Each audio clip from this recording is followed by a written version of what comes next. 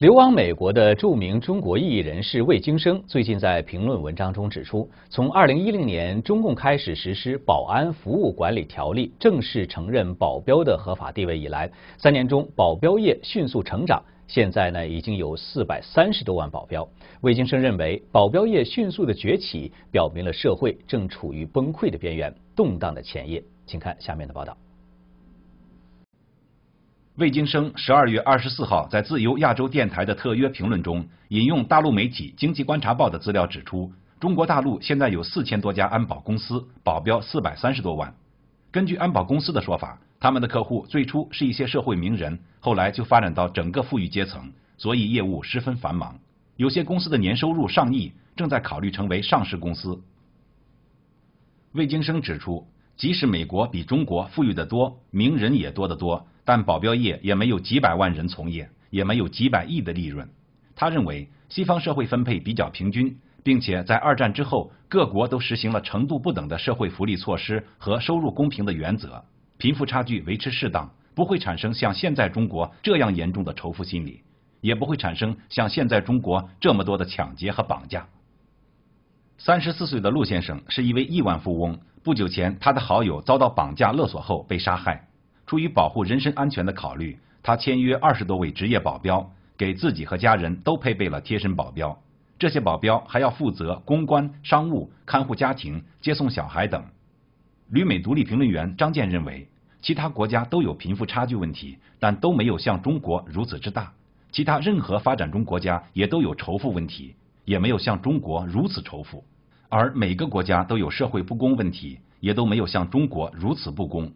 保镖一的产生，其实也从另一个角度冷射了中国当代现今的一个社会，就是中国的富人已经变了呃人民的对立面，他已经变成了呃盘剥人民分子。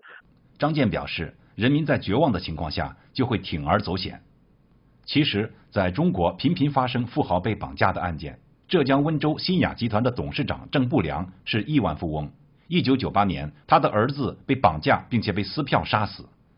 二零零五年，内蒙古知名民营企业家云全民九月二十五号遭到绑架。第二天，他的家人交付二百四十万元赎金之后，绑匪依然残忍地将他撕票。二零一一年，浙江亿万富翁金某被七名绑匪绑架勒索三千五百万。今年九月，中国首富娃哈哈公司董事长宗庆后被人砍伤。十一月。辽宁本溪女富豪被绑架勒索三百万。仅2004年，公安部公布的当年绑架案件数为3863起，远远超出世界其他国家。魏京生的文章还指出，西方社会是用法治来保障社会公平，公平的处理社会纠纷，避免弱肉强食和不公平引起的纠纷扩大。但在中国却恰恰相反，在宪法里规定了政党大于法律，在现实中也是当权者的意志大于法律。特权阶级的权利大于法律，执法者可以随意解释法律，统治者取消了宪法和法律本身的权威，也就是取消了自己的合法性，仅仅依靠暴力执法维持。魏京生认为，中国老百姓有遵纪守法的传统，但是经过中共几十年的现身说法式的教育，法律越来越没有权威，越来越多的人用非法的手段解决致富和报仇的问题，政府也就需要雇佣几百万军警保护。官僚和富人还需要雇佣保镖来保护。作家廖祖生撰文认为，连年几千亿的维稳，说的严重些，就是国家在长期买凶杀人、整人和抢人。